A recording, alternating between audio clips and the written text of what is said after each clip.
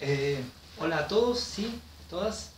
Lo que vamos a intentar compartir hoy a través de, este medio, sí, es eh, poder practicar Shomenuchi y Riminage desglosando la parte de Uke y desglosando la parte de Nage. ¿no? A este tipo de práctica, donde estamos trabajando solos, se lo denomina Itori Geiko. ¿sí? Es un tipo de práctica, así como Yu Geiko es práctica libre, Kakari Geiko es práctica cuando hacemos rondas de kokyunage, ¿no? Eh, y demás, ¿no? Esta práctica se llama Itori Geiko y para ello vamos a desglosar la parte de Uke y la parte de Nage, ¿no? Empezamos con la parte de Uke, hacer Shomenuchi, ¿sí?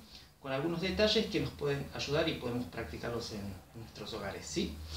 Entonces, primero que todo, un Hanmi, ¿sí? Un Hanmi y quisiera que vean el detalle de cómo finaliza el shomen, por lo menos de esta manera que yo lo quiero mostrar hoy, ¿sí? Levantar, ¿sí? Buscar esta sensación, no estar ni así, ni así, buscar esta sensación, ¿sí? Este, ¿sí? Un poquito, ¿sí? Un poquito este trabajo. Desde este lugar, levanto, desciende, ¿sí? Chequear el detalle de cómo queda la mano, ¿sí? Y voy a acercarme un poquito a la cámara para que puedan ver algo, ¿sí?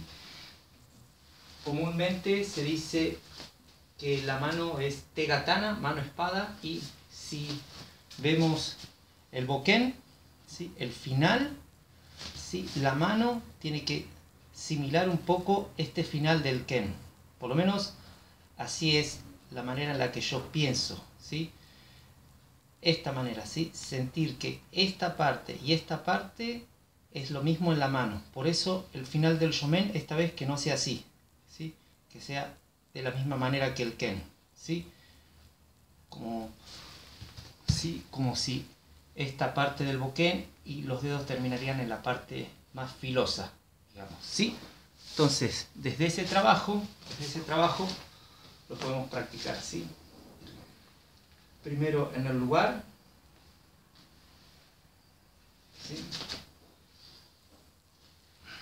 Sentir que me estiro un poquito, me estiro, relajado los hombros, bajo. Lo mismo, con un pequeño paso y volver. Con un pequeño paso y volver. Con un paso mayor y volver, ¿sí? Lo muestro de esta manera, alineados, ¿sí? Levanto, no inclinarse, no levantar tanto. Levanto, la otra mano que no esté ausente, que esté también centrada, relajada, pero centrada, y descargo. Una vez más, y descargo. Una vez más. Pequeño paso. Vuelvo. Gran paso. Vuelvo. ¿Sí? Sentir que al momento en que descargo, el imaginar que como una pequeña bolita que quiero que descargue al final. ¿Sí? Un poquito de flexión y descargo. ¿Sí? Y descargo. No irse tan hacia adelante, que el pie no, de atrás no se levante el talón, ¿sí? no hacer algo como esto.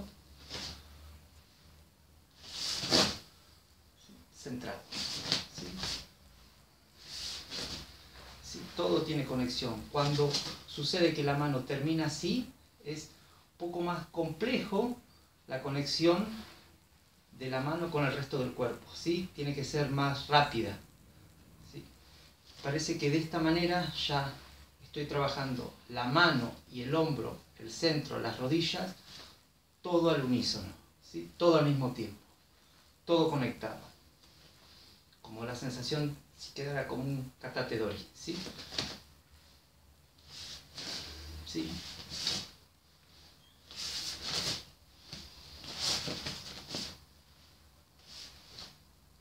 Esta sensación, ¿sí?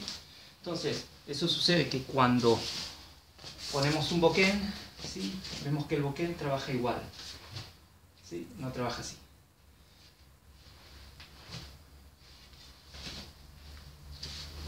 ¿Sí? Esa misma manera. Esta es la parte de uke, con algunos detalles para practicar, poder hacer varias veces, utilizar una línea de trabajo. Como lo presentó y lo propuso el instructor Pablo, ¿sí? En otro de los videos, ¿sí? Utilizar esta línea de trabajo, ¿sí? Y esta misma línea de trabajo vamos a usar ahora para el movimiento de Nage, ¿sí?